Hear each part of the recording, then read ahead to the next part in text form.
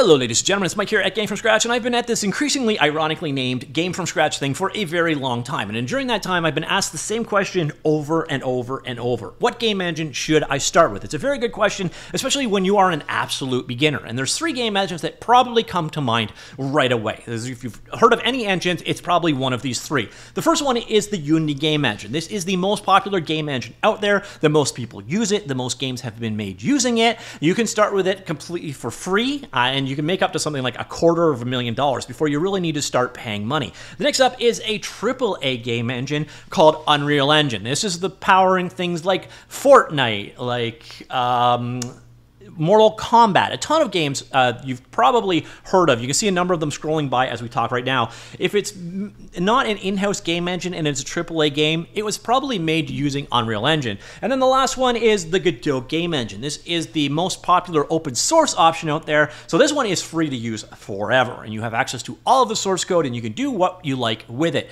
It's also probably and arguably the easiest to learn of the three engines I just mentioned.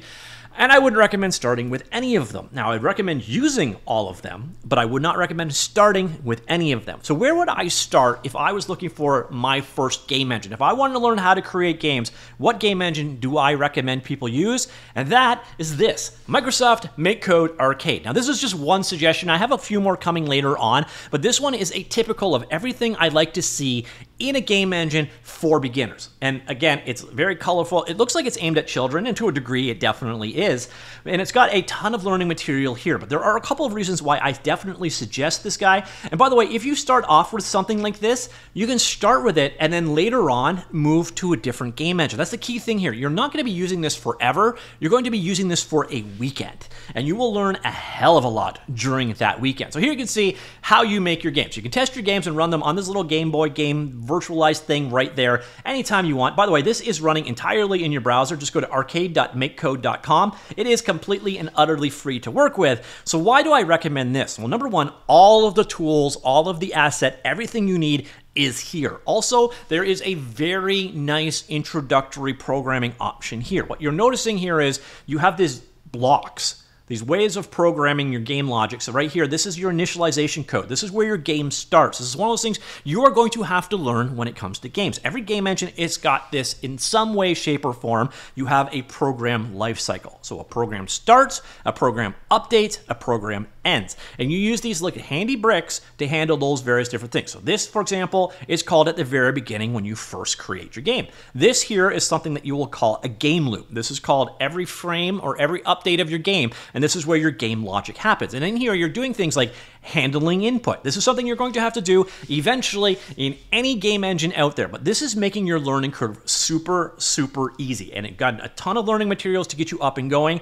And then on top of that, you got all of these various different assets to go ahead and play with. So you've got, uh, these are the assets used in this game. So for example, here you can see levels that are being used. And then you have this guy. This is a tile-based level editor that is built directly in here. So you can drag and drop and create your game basically just painting in the world and editing and done. That's all all that's everything you need. All of the art assets are here. You need to create your own tile or graphic or sprite. You can create it directly inside of here using their tools or you can go ahead and use their gallery and bring in a ton of stuff from the community. This is really useful because you don't need to worry about sourcing all of this stuff. It's just available for you. All the tools you need are right here to be successful creating your game.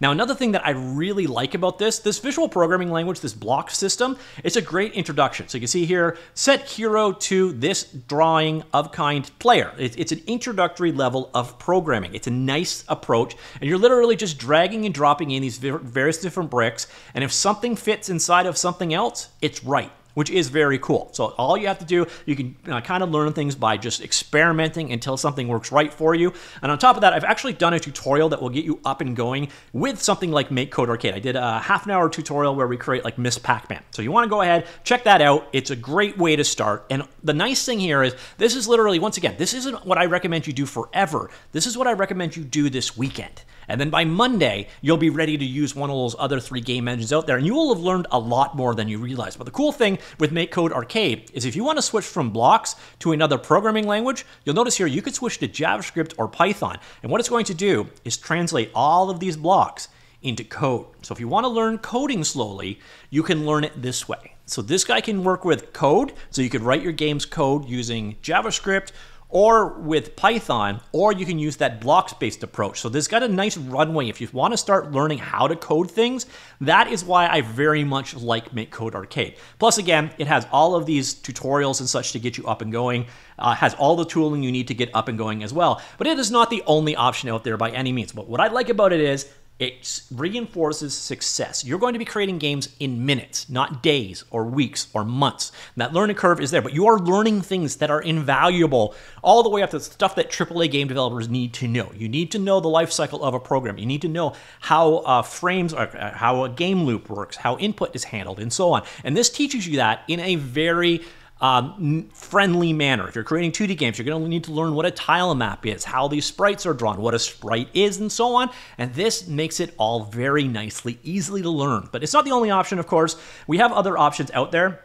So, for example, we have GDevelop. This is uh, another free option. Uh, it is a great choice. You can download this for Windows, Mac, or Linux uh, and run it that way, or you can even run this guy entirely inside of your browser as well. So, you can see here, we'll go over to build, and you can see they've got a number of templates to get up and going. So, let's say you wanted to create a, a Tappy Bird style game or uh, 3D tile builders. No, no, that's too complex. We'll, we'll, switch away from that. We'll go with Tabby Birds. So we say here, go ahead create it. You can open it up. We create a copy of it, and we'll run this directly inside of the editor right here. Again, you can down this guy locally if you so wish to do. But here you can see this is once again the same setup. You've got this, you build your game here. You got uh, drag and drop, bring things in. So if I need a plane, I can bring a plane in here like this. But if I need to add a new object, you have integration into their entire store of characters.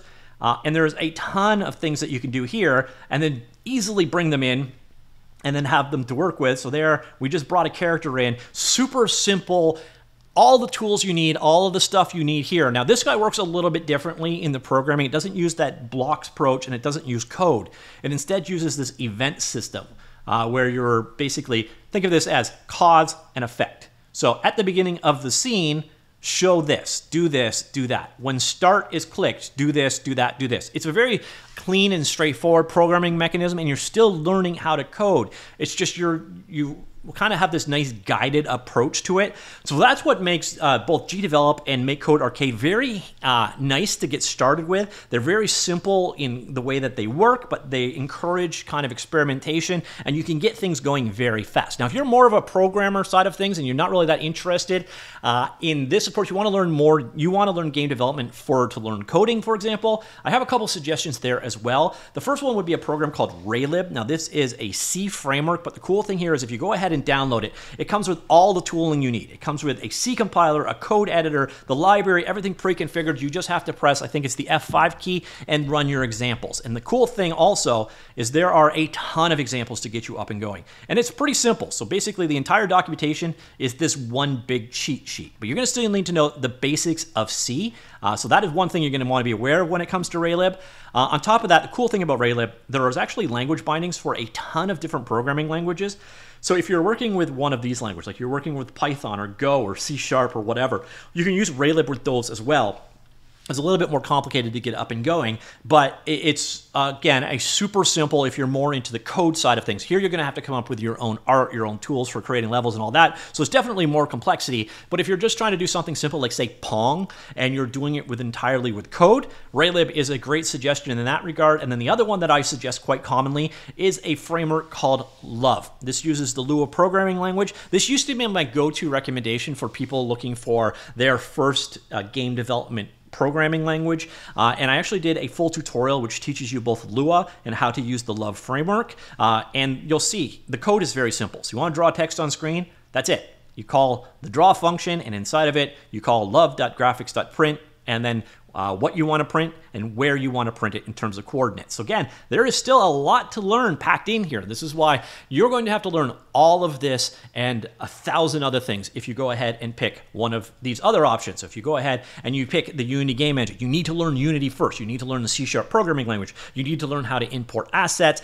and you need to learn all of the things about making games. And then we get into Unreal Engine. Here you're going to have to learn way more, as well as blueprints, an entire application. This is, again, it's probably going to take you three or four months just to get up and going with the tooling and the basics of programming as an absolute beginner. And I think that's probably being a little optimistic. And again, the Godot game engine is another great option here. Uh, probably, again, my opinion, the easiest to use of the options here. But when you compare it to the other things that I presented here, things like Microsoft Make Code Arcade, you will learn more and you will have more success in your first hour of using Make Code Arcade than you would in your first week of using the Godot game engine. And the cool thing here is spend a weekend. Just spend a weekend, make some games, have some fun, and you are learning a lot of really handy skills which you can then apply to or learning the Godot game engine. Unreal Game Engine or the Unity Game Engine, uh, but you've had a lot of fun doing it and you had a lot of success. And success rewards more success. It's the fundamentals of learning. So when people say, What game engine should I start with? As an absolute beginner, I would highly recommend something like Make Code Arcade or GDevelop. Let me know what you think. If you started with something different and you have a different opinion here, let me know in the comments down below, and I'll talk to you all later. Goodbye.